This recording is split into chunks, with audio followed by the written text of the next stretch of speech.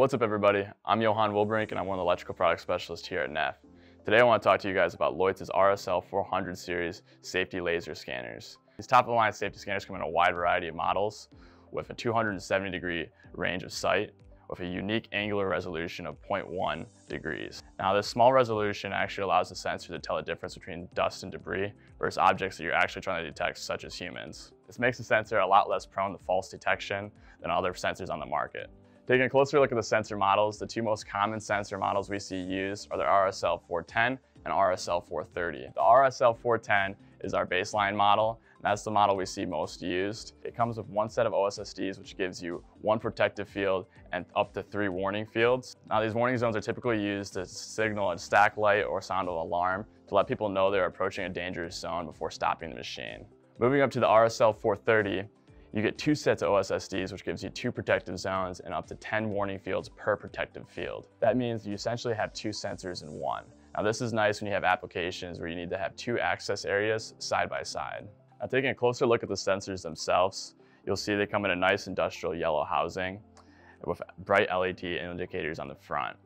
Along with that, you'll notice that there's a panning screen on the front, and this will show you the angle and distance at which the sensor was faulted. Along with that, you can also ping the sensor, which is nice, and it'll show the device's name. So this is nice in applications when you have multiple laser sensors hooked up on one machine, and you're connected to the system, and you're trying to see which sensor you're talking to If you ever do damage this, because it does happen, you don't have to worry about having to replace the whole sensor. You can just replace the body of it itself and you'll save a lot of money there. As for how to connect to the sensor goes, it's pretty simple. You have three different ways of doing that. You can connect to it via Ethernet, USB, or even Bluetooth, which then will bring you to the next portion of this video, the software. So let's take a look at that.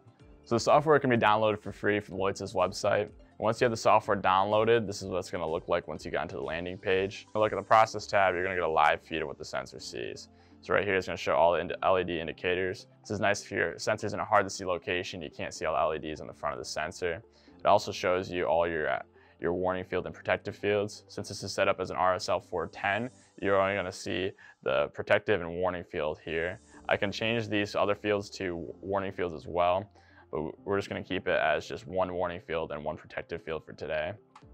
Moving to the configuration tab, you can name your project and you can do a description of this. This is nice if you have multiple scanners on one machine because now you can label it and give a description to what that sensor is specifically doing. So then once you move down to what the sensor actually sees, this is where the software becomes really helpful and easy to use. So as you can see here, we're currently looking at the, the room. So we're in a square room, there's a lot of stuff up around me. If I zoom in closely here, you're gonna see this is my laptop and this is my arm. So I can move my arm in and out. It's giving you a live feed of what the sensor sees. This is extremely helpful for setting the sensor up for the first time because you can see what the sensor sees and then you can box stuff out using your, your zones here. So setting your protective and warning zones, you come here to the top. So right here, I have my protective zone and my, my warning zone. So selecting my protective zone here, you can set them up with just either a standard rectangle so I can just come here and click the sensor. And we can set up as a standard rectangle, deletes right here. Uh, we can do ellipticals. Come and set up ellipticals, however you want to do those. And you can also do, which is my favorite, the polygon. Now this allows you to box things out. So this is nice if you guys have posts or parts of your machine that are sticking out that you don't want the sensor to see. You can just come in and you can just box things out. So I'm gonna box my laptop out here. And there you go just set a unique protective field here.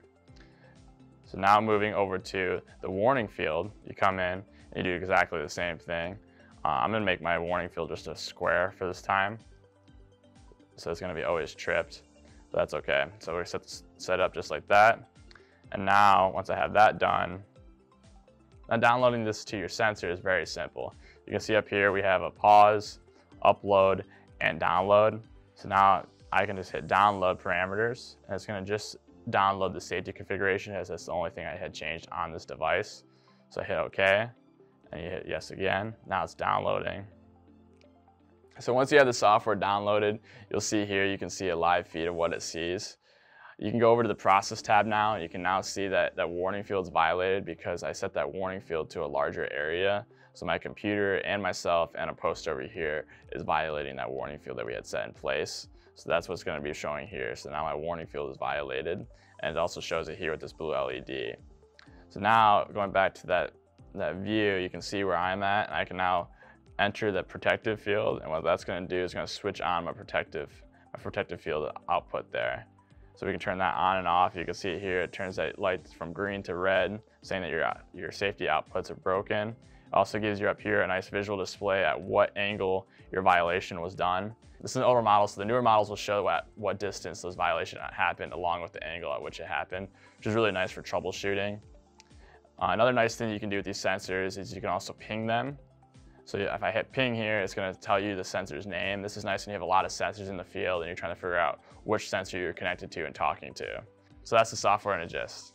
All right guys, thanks for watching. Reach out to your local NEFF representative for further information and we'll get to you guys shortly.